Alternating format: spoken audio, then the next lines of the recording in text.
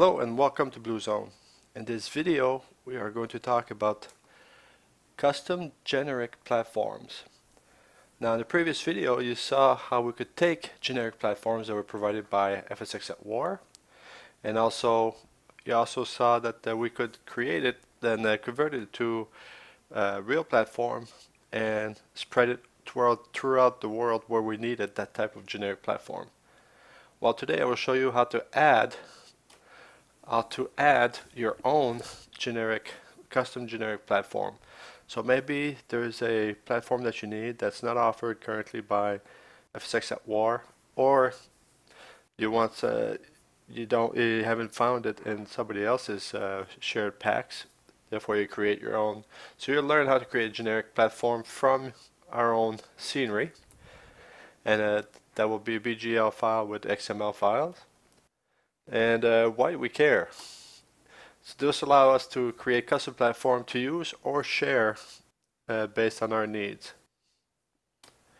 And where would I use it? Uh, uh, use it anywhere to create specific platform look that I want that is not currently offered by anyone or FSX at War.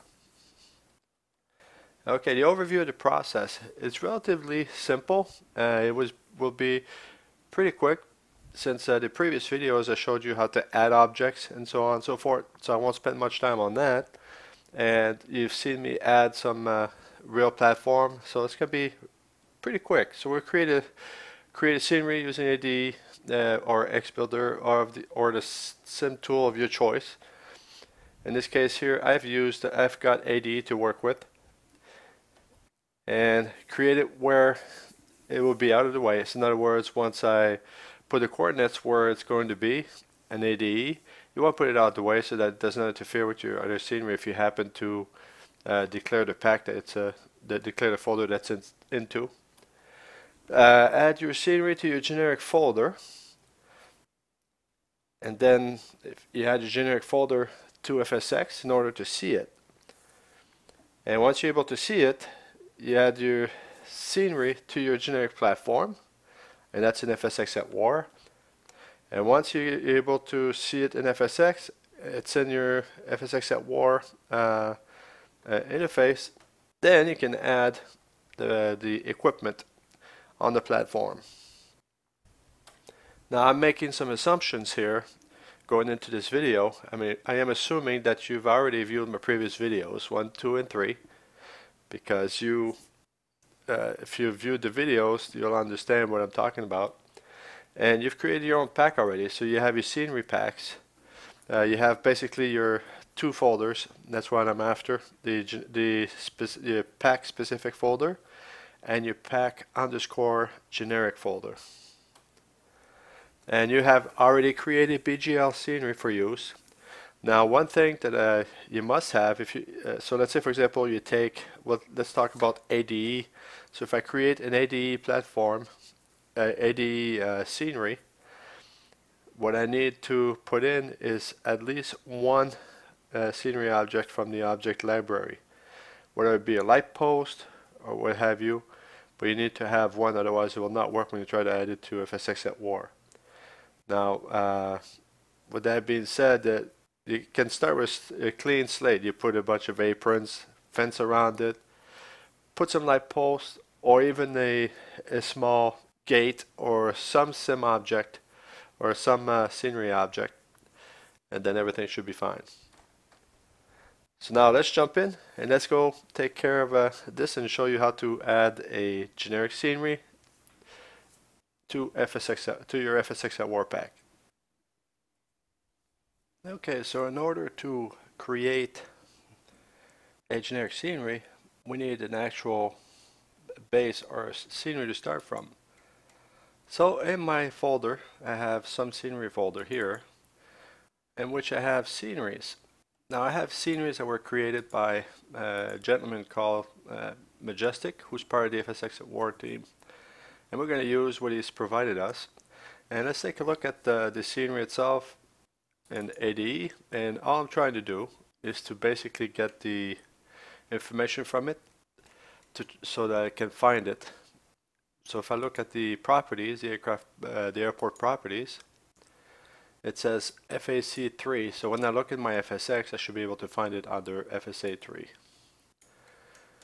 and so let's go take a look at what the platform looks like in FSX but first before we can do this as part of our process we need to take those files and actually put them into our generic folder so I will copy those files and go into my flight sim so in my case here I'll use FSX go into my add-on scenery and my pack name is blue zone pack one underscore generic one. That's the one I want to add the scenery to and not the one that says just pack one. So I'll add my scenery to the scenery folder of that uh, folder itself. There we go. So now in my pack as I mentioned I have pack one blue zone pack one and blue zone pack one underscore generic now I added the files here, but it's not, doesn't mean that FSX will be able to see it because I need to add it to FSX as well. So if you recall in my previous videos, we added the Blue Zone Pack 1, but not the Blue Zone Pack 1 generic. You only need to add this generic pack, the generic folder, when you're actually going to do work in FSX itself. So what you want to do is go to your FSX and go to your settings and go to your scenery library and now you see here I have Blue Zone Pack 1 actually listed, but you don't see my Blue Zone Pack 1 underscore generic folder. So I need to add area. and go find that folder, which is right here. Okay, so I open the folder. And now I do have it added into my scenery. So just click OK to update the databases. And then once it's done, I should be able to go look at it.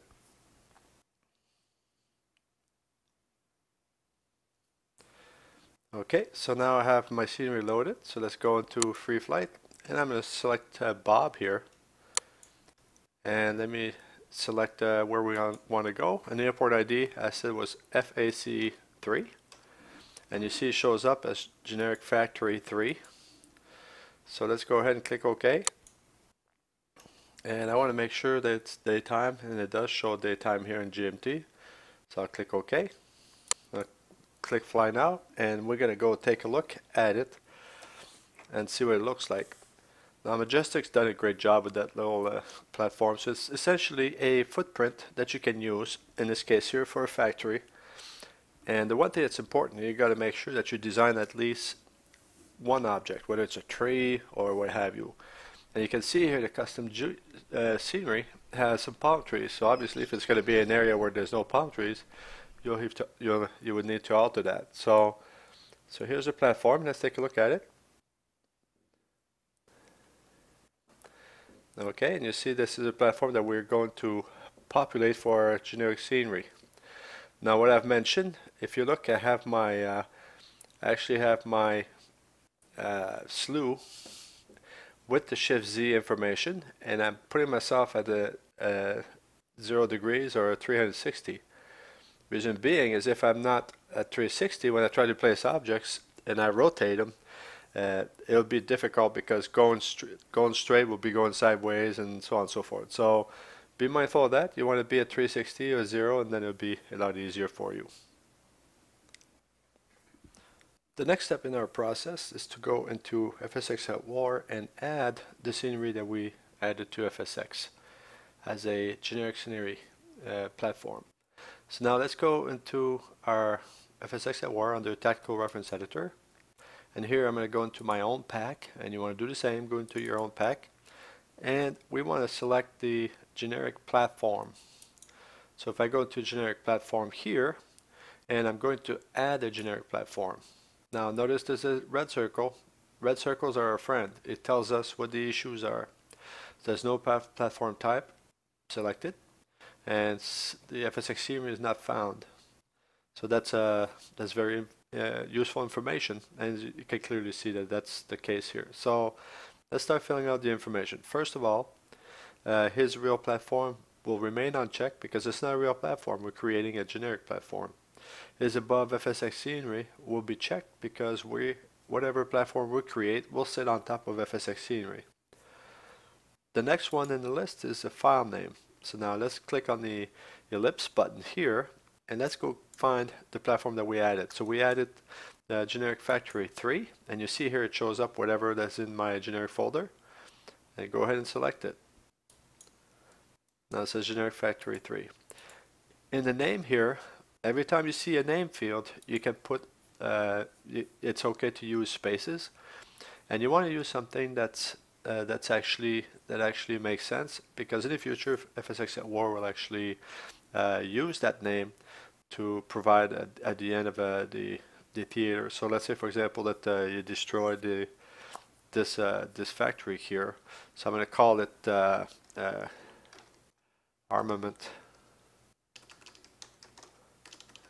uh,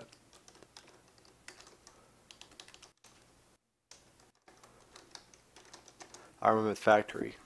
So let's say that you destroy the whole armament factory, it would say armament factory and a armament factory, let's say, uh, or whatever. So you, you put the name armament factory, then this way, when it's destroyed, we'll say armament factory is destroyed instead of uh, saying gen underscore factory underscore 3 is destroyed. So try to use meaningful names, and it'll make sense. Now, next one is you want to select a category that applies to your generic scenery. Uh, in our case here, it exists already, so we'll select factory from FSX War Pack 1. If you did not find the, the, the category that you, the, the type that you need here, you could create your own type. It's uh, not within the scope of this uh, tutorial, but you can go and then look at the documentation and you can create your own type. And you see how it fills out uh, the type name and the type pack name. The ICAO code you do not need that ICAO code because it's not an airport. Now, much like the previous videos, uh, it already knows which position you've put the the um, the scenery in, and uh, if you notice here, by looking at the uh, at the position, it's uh, the it's put you can put it just about anywhere. People won't see it because it downloads the generic uh, scenery folder normally. But I, I recommend putting it elsewhere so that if you have to somewhere that's not in your way so this way if you have to work with it at the same time as you have your generic pack loaded you won't have any interference or issues. So all we have to do here is copy position from FSX scenery and it will go get the information from FSX scenery and it's actually in the pack then uh, it actually clears all the error that we had now the next step is to add the generic platform equipment. But the first thing I want to do first is just exit out of FSX at war, just so that it says the work that I've done. So I quit, I quit, and I quit. Then ask me, do you want to save the changes? Say yes. So now at this point, your changes are saved. Your platform is actually in your generic scenery, but there's nothing on it. So the next step will be to go in and add equipment on it. Okay, so the generic platform is into our pack and I've actually went ahead and added equipment. Uh, we're not going to go through that because I've already showed you how to do this in uh, the video number two. But in any case, uh, I've added a bunch of piece of equipment in here.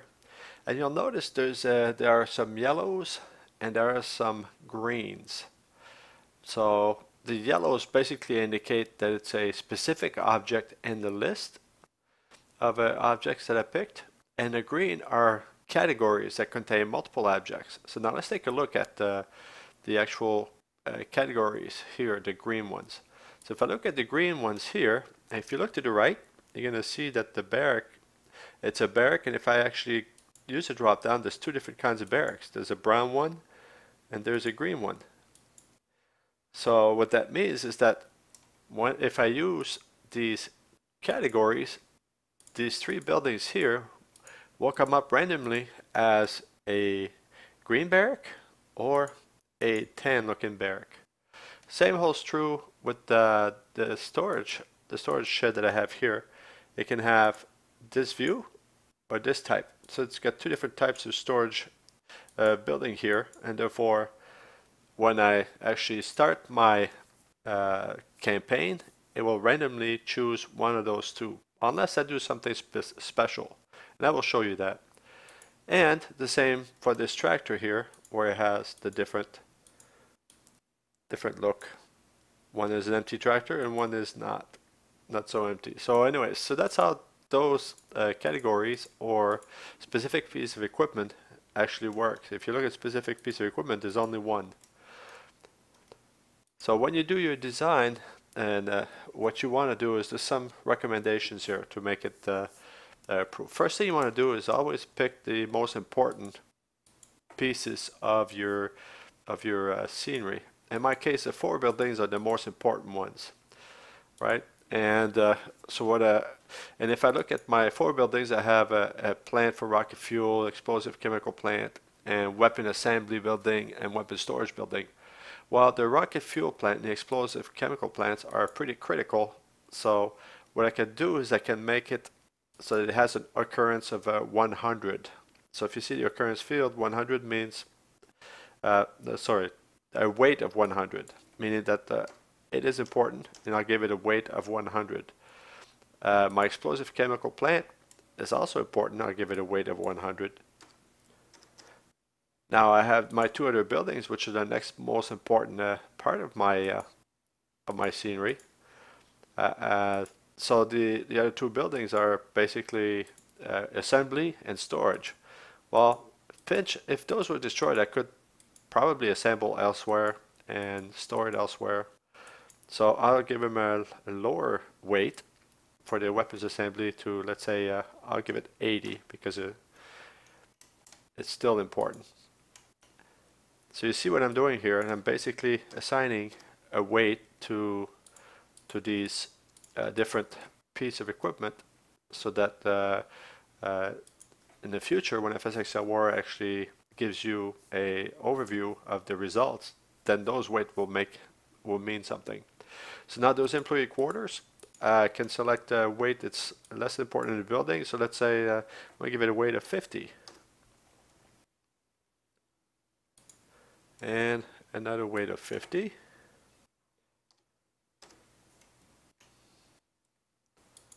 And you get the, the idea of what I'm trying to do here in the weight of 50. So now, notice how I created, in my head, I knew which ones was the most important, which ones the least important. So now the storage part here, I'm going to give it a 40. And and lastly, the, the truck, I'll give it a 20. So now I have the weight set appropriately. Now with that being said, you see how many objects I have here. You probably want to keep that under 200 because these objects have to be cached and therefore you want to make sure that uh, doesn't cause any performance issue. So keep it under uh, 200 objects, uh, whether it's in one scenery or multiple scenery put together. That's a good guideline. So now we have uh, another field that we need to contend with is uh, how often do we want uh, the objects to show up? And what I mean by this is there's the occurrence, right? So I have an occurrence of, uh, if I have an occurrence of 100, every time I start a campaign, I should, let me rephrase, every time I create a campaign, then it will randomly show up or not show up based on my occurrence level. Occurrence level of 100 means it's going to show up every single time. So my four buildings, I definitely want them to show up because they're the critical part of my design. But my employee quarter, maybe there's one or two that I don't want. So let's say uh, maybe I want uh, just uh, the first two are critical. And uh, let's see the third one, maybe I want the third one to show up at 50% of the time. So I can change my occurrence to 50. And it's hard to, probably hard to see for you there, but I change my occurrence to 50, what that means that every time I create a, a uh, a, a campaign, it will it will show up one out of every two times, 50% of the time it will show up in my scenery. Uh, my part storage, uh, this one I, I, can give it a occurrence of 60 and I'm just randomly picking numbers here but it, it will keep it uh, keep it uh, randomized. And the truck I assign it a 30% so we'll keep it uh, randomized, so therefore if you have your scenery uh, actually go uh, loaded in multiple places as real platform, they'll look different every time somebody create a campaign. So create some uh, interesting randomness. So now I've changed these things here and let's go take a look uh, what it looks like in FSX. So first of all, I'm going to change the size of this here and I'll bring up our FSX to take a look at the scenery. So now you see I'm looking at the three buildings here. Now what's interesting is that the building you can, while you're actually looking in FSX, you can actually change the building to see what stuff would look like. See how I change the category? There would be brown or green. And you can also uh, do the same thing for uh, any categories. You can look at the transport truck and change it in here. So now if I look in my FSX, see how it changed the view, the, the way it looks based on uh, what I select. So let me just go in slew mode here. Let's take a look at uh, our scenery overall. And let's take a see, you can see the scenery, what it looks like. And those are the building I selected. Now I could have a lot more stuff on here, but I'm just trying to keep the video uh, a little bit short. Now there's another thing that we can do. So there's another field in here that's called groups. So the field, the group field, so let's say the, the three uh, employee quarters that I have here. So if I select a group field and uh, select uh, a group and I give them a, a name. Uh, so let's say I take the first two, I call it my uh, my my group, and it could be any name. And the next one I'll call it my group as well. Now what will happen is you notice the third one I'll leave alone. So I have three different groups, three different uh, buildings here. And the first two are part of my group. And the second, uh, the third one is part of no groups. And what that means is that when actually generates the the uh, employee quarters, the first one that generates is going to select green or tan. So let's say, for example, you select tan, right? Now the second one will generate, it would want to create uh, generate green or tan, but because it's part of a group, it will pick whatever the first one selected. So if the first one was tan, the second one will be tan. So that group will ensure that these two that we made part of the group will always be uh, the same. And the third one will be totally randomized because it's not part of the group. So I hope that makes sense, but that's how you use the group. Now, if you look at my documentation, I was talking about uh, doing the same thing with planes.